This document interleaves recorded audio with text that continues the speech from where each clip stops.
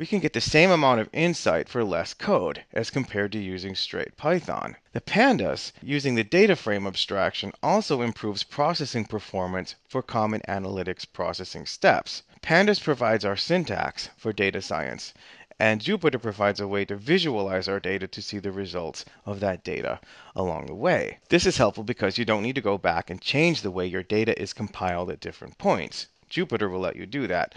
Finally, Treasure Data solves the data access problem. You can think of Treasure Data as a universal data connector, enabling you to connect to any number of disparate data sources, each with unique formats, schemas, and query methods. Pull the data out of them, query that data using something as familiar as SQL, and finally export the result into any other format for visualization, for further analytics, or so forth. You can also let your data reside solely in Treasure Data Storage Cloud or use Treasure Data as your primary data source. So are we ready for a demo? What we're going to do is we're going to set up our Treasure Data API key. We're going to install Jupyter, Pandas, and the Pandas TD connector. We're going to run Jupyter, create our first notebook, we will explore our data and we will sample our data. So the very first thing that I want to show you is you need to get a Condas installation. And the best place to get that installation is from here. Uh, Conda, PyData.org, Miniconda. You want to take the installation that's actually relevant to the platform you're running on. So if it's 64-bit Windows, 64-bit Mac, or 64-bit Linux, or 32-bit in any case, download it and install it according to the instructions. So that's the first thing you want to do. The next thing you're going to want to do is set up a, a Treasure Data API key. And this is done by basically running an export command at the command line. So I'm going to show you how to do that. In fact, I've already done. First off, I guess I should show you where you get the API key from.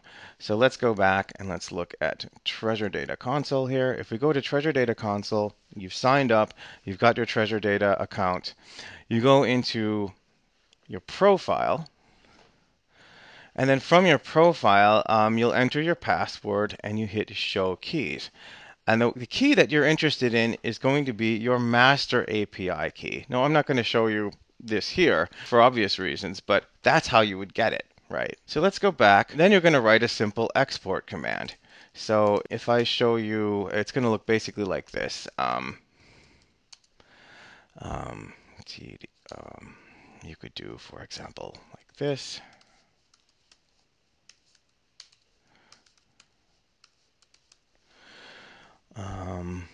And then in quotes, you're going to have the string that is your API key.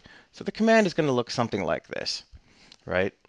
Now I've already entered mine and stored it.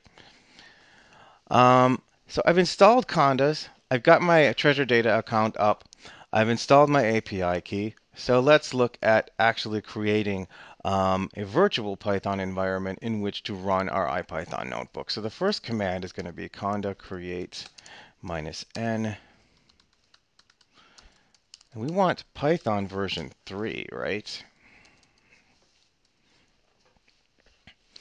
So we're going to hit this.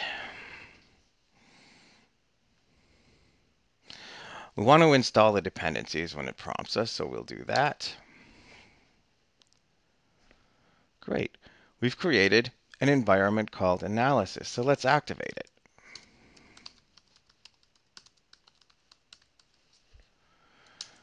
And now this shows that we're running in our analysis virtual environment, right? So we'll want to install a few more dependencies before we get going. So we're going to install pandas using the conda install command.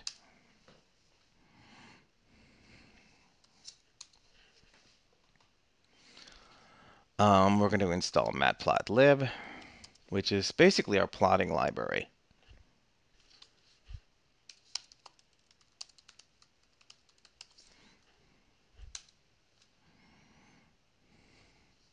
Again, we say yes to all the dependencies.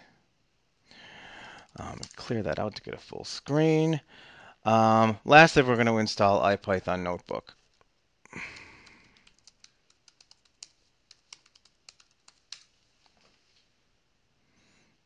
This will give us some more dependencies we need. So we take those.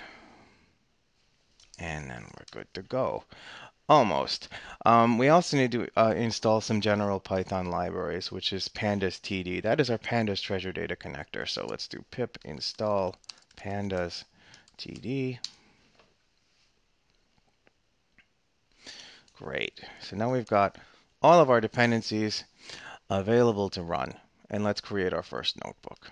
So from our analysis environment, which we've just set up, we type IPython notebook. And this is going to open in a web browser. As I said before, this is a web application. It's running locally on our machine. And this is actually browsing my, my whole directory structure here, so never mind that. What we're going to do is we're going to create a new IPython notebook.